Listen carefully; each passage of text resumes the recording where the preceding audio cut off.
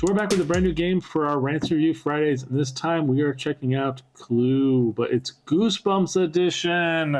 Uh, this is, of course, due to the great work between the OP, Hasbro, Scholastic, and so on and so forth. So let's open this up. We're going to talk about why this game is so much different than other Clue games, because it is different. Uh, on top of the fact it being themed around Goosebumps, it is at Horrorland one of their most iconic and well-known locations. I mean, several of the books have gone to Horrorland, and it features Slappy and several other monsters from the Goosebumps lineup. So the whole thing is Slappy's on the loose, and he is working together with monsters, uh, specifically like werewolves, demons, uh, vampires. We got a little punch card specifically for them. And then you've got the kids you'll be playing as. You got little tokens for them there. And there are traps. So look at those in a second. So to give you an idea of the monsters, uh, vampire, we've got a werewolf, we've got a ticket taker, we've got a pirate horror, Clown Horror, and of course Byron. And so those are all available in these tokens here. Then for the traps,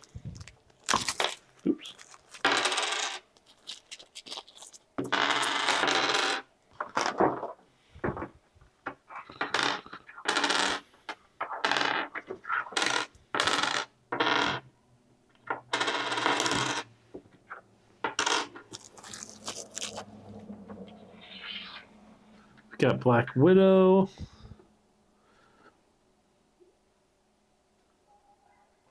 Coffins. Fire.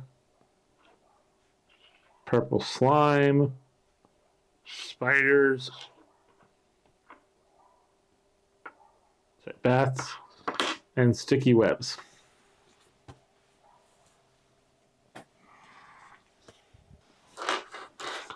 And then for locations,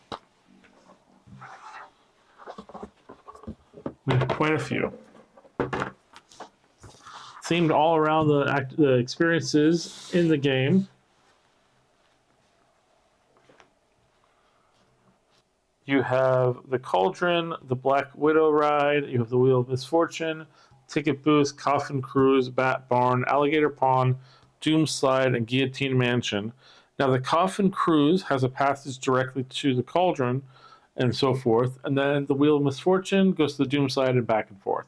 So, just like traditional games, you do have the shortcuts that goes through, and then you have the door entry points to go between where you're going. And then you also have, which is more of a modern clue prediction, a deck of cards and special abilities, as well as what you can roll on with the dice with a question mark, or you can get by landing on those spaces. Let's look a little bit more at the cards.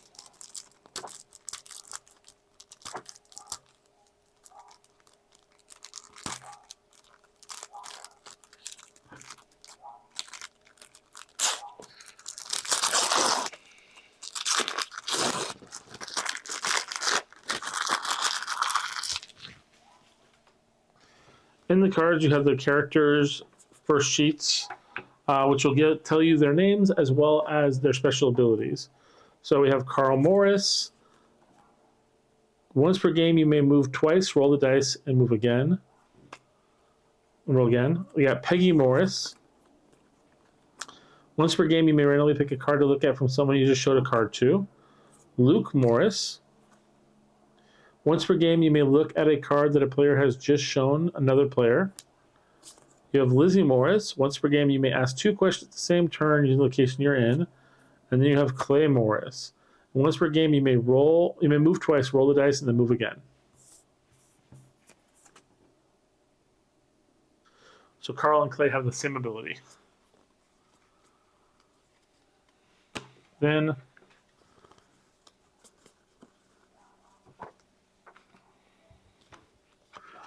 We, of course, have the rumor cards. Those are the cards that you're going to get from and shuffle out to people, which include the um, traps, the characters, monsters, I should say, and the rides.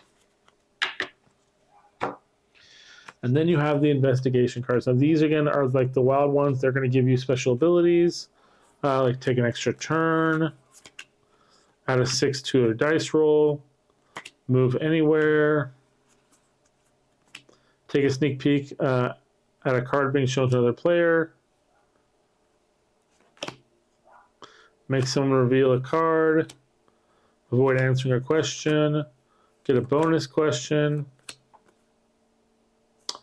We missed out a player card. It was in the middle of it. This is Fang. Fang Morris is the dog. Once per game, you may only pick a card to look at from someone you just showed a card to. And then we have Slappy's Revenge. Now, Slappy's Revenge is your shot clock card.